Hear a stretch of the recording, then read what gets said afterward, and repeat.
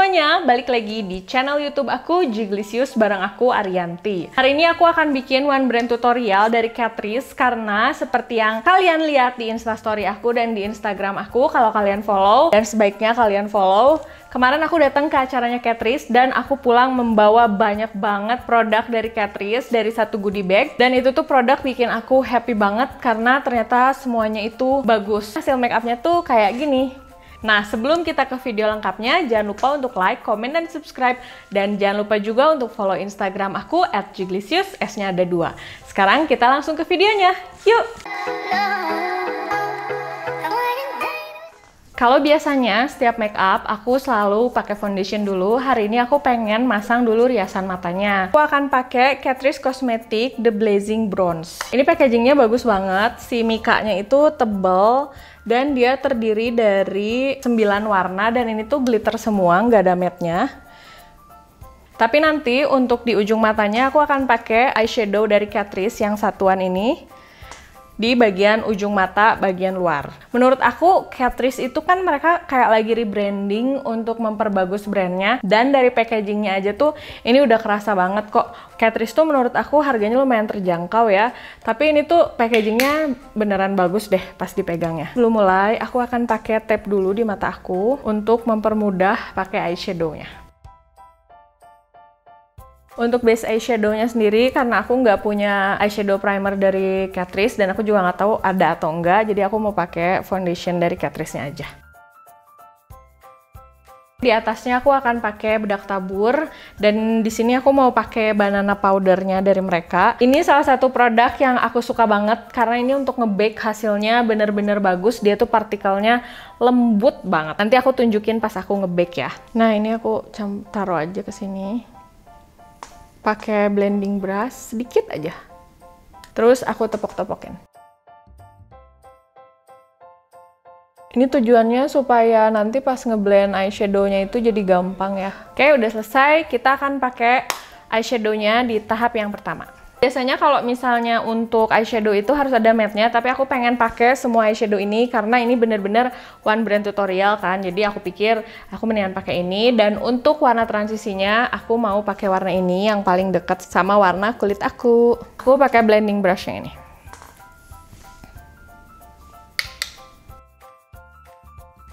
Yang berikutnya, aku akan pakai warna. Ini shades-nya nggak ada namanya ya, jadi aku tunjukin aja uh, warnanya. Aku akan pakai yang ini di kelopak matanya.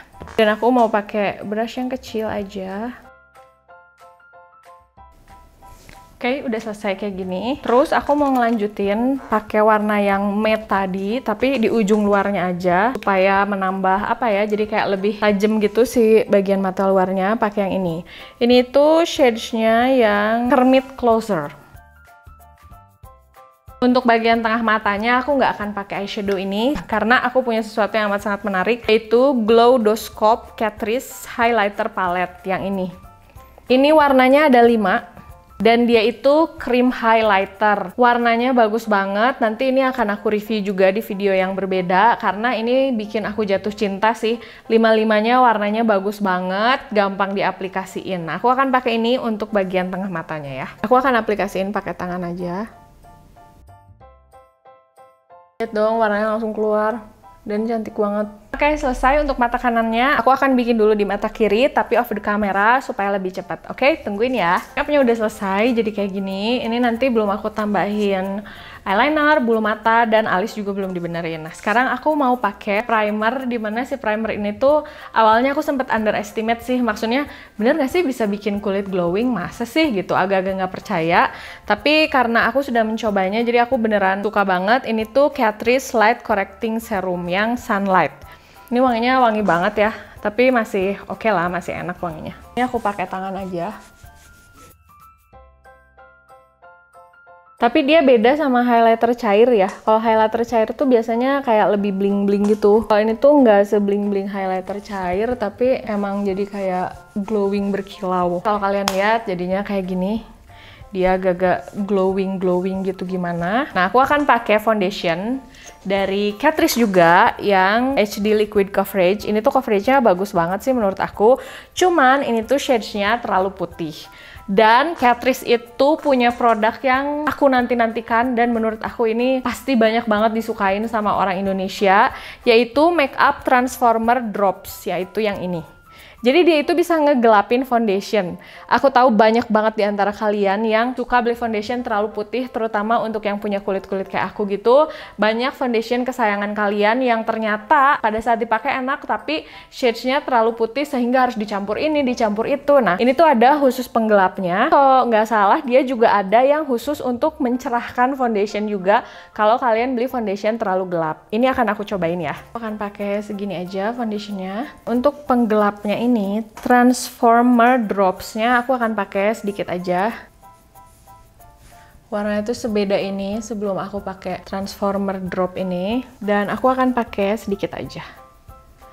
Dikit-dikit ya kalau pakai yang gini karena daripada nanti terlalu gelap tambahin lagi foundationnya. Nanti kalau tambahin foundationnya lagi foundationnya nggak kepake sayang kebuang. Anaknya kan irit ya. Pokoknya kalau kalian punya kulit yang sawo matang dan agak gelap itu kalian wajib banget punya ini nih. Oke ini masih aku aduk-aduk. Oke dan hasilnya jadi warna ini tuh. Ini lebih pas kan buat kulit aku dari sini jadi ke sini. Sekarang bisa langsung aku pakai. Ini aku pakai beauty blender warna hitam. Ini tuh nggak ada brandnya. Aku waktu itu lupa beli di Tokopedia apa di Shopee. Dan ini menurut aku enak-enak aja sih. Jadi aku akan pakai ini ya.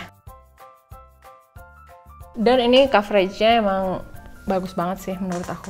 Aku pakai foundation ini tuh udah lama dan udah habis dua botol sih sebenarnya. Karena memang aku sesuka itu. Tuh lihat deh, coveragenya tuh bener-bener nampol banget. Wajah aku yang kiri ini kan banyak banget tuh bekas jerawatnya. Langsung tertutupi dengan baik. Kalau ini tuh hasilnya matte ya, jadi ini cocok banget buat kalian yang punya uh, kulit berminyak.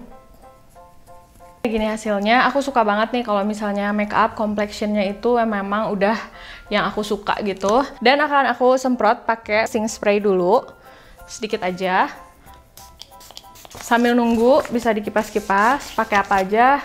Ini yang ada di paling deket ini ya jadi aku pakai ini aja. Sudah selesai sekarang aku akan ngebake bawah mata aku dagu sama di jidat pakai banana powder. Warnanya kuning-kuning kayak banana.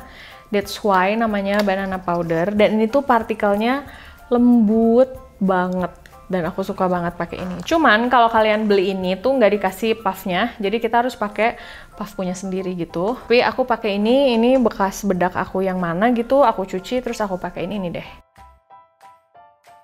Sambil nunggu karena aku nggak punya pensil alis, eyeliner, jadi aku mau pakaiin dulu off the camera, oke? Okay? Tungguin ya. Oke, okay, untuk matanya udah selesai, udah aku pakaiin bulu mata palsu, udah pakai alis. Sekarang aku akan nge-swipe si banana powdernya ini pelan-pelan aja dan sisanya kayak aku pakai di uh, wajah aku. Nah ini foundationnya matte, jadi aku nggak setting pakai powder lagi karena dia udah matte, jadi aku nggak mau nanti malah jadi ngekrek gitu di wajah aku. Yang paling aku suka dari banana powder ini adalah dia partikelnya tuh lembut banget, terus begitu bikin di mata itu nggak bikin bawah mata kita jadi kering, tapi hasilnya tuh tetap bener-bener kayak bagus banget gitu. Aku akan nambahin di bagian matanya, mata bawah. Aku akan kasih warna ini aja, dan yang terangnya aku kasih warna ini ya. Aku mau ngebronze wajah aku, tapi aku nggak punya bronzer dari Catrice, jadi aku pakai yang aku punya aja ya udah selesai. Sekarang aku akan ngasih blush on. Aku akan pakai blush box water and sweat proof katanya. Nah ini packagingnya juga bagus banget, mirip-mirip tebel banget sih mikanya dan aku suka banget. Ini warnanya agak terlalu pucat sih di aku, tapi aku akan cobain apakah warnanya masih kelihatan atau enggak di aku. Warnanya kelihatan tapi kayak tipis banget gitu, tapi masih kelihatan sih. Sekarang aku akan pakai yang paling aku suka yaitu highlighter di hidung dan aku akan pakai highlighter. Aku akan pakai yang paling kiri. Ini tuh hasilnya kalau nggak salah jadi agak-agak keijauan gitu deh. Warnanya putih tapi begitu dipakai tuh jadi kayak ada hijau-hijaunya. Bagian pipi aku akan pakai highlighter dari Catrice yang ini. Jadi warnanya bakal agak-agak beda sama yang di hidung. Tapi ya aku pengen pakai highlighter semuanya sih karena ini bagus-bagus banget. Jadi kita akan cobain aja katanya tren 2019 itu lipstick matte itu udah nggak terlalu tren diganti sama yang glossy glossy gitu nah Catrice itu ngeluarin Dewy Full Lips bentuknya kayak gini tapi ini pas dibuka aplikatornya tuh kayak gini. Kita akan pakai. Ini sih aku udah nyobain dan aku suka karena rasanya tuh bikin bibir kerasa lembab. Dan warnanya juga oke. Okay. Selesai, aku akan pakai uh, fixing spray-nya dulu untuk sentuhan terakhir biar makeupnya awet dan tahan lama. Oke, sambil nunggu ini kering, aku akan ngerapihin rambut aku, nanti aku akan balik lagi ya.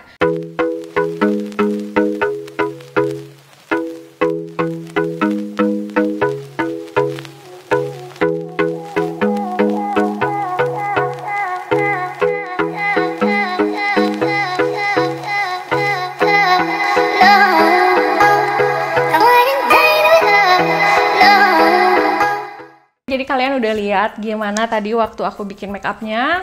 Kalian juga udah lihat hasil make upnya. Jujurnya aku suka banget sama produk terbaru dari Catrice ini. Mereka bener-bener kayak apa ya, rebranding dengan produk yang memang benar-benar jauh lebih bagus dari produk yang sebelumnya. Dengan harga yang tetap gitu. Karena menurut aku harga Catrice itu terjangkau, terutama highlighternya. Kalian bisa cek video salah satu highlighternya di sini.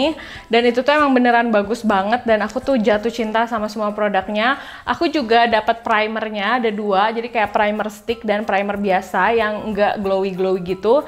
Nanti akan aku review juga. Mungkin di video terpisah sekalian aku kasih tahu produk apa aja yang enggak masuk di dalam video ini. Kalau kalian udah follow Instagram aku, kalian pasti udah tahu aku punya banyak banget produk dari Catrice waktu acara event kemarin. Nah, paling segitu dulu videonya. Kalau misalnya kalian ada yang mau ditanyain atau disampaikan, kalian bisa tulis di kolom komentar. Jangan lupa juga untuk follow Instagram aku at S-nya ada dua. Sampai ketemu di video berikutnya. 哒。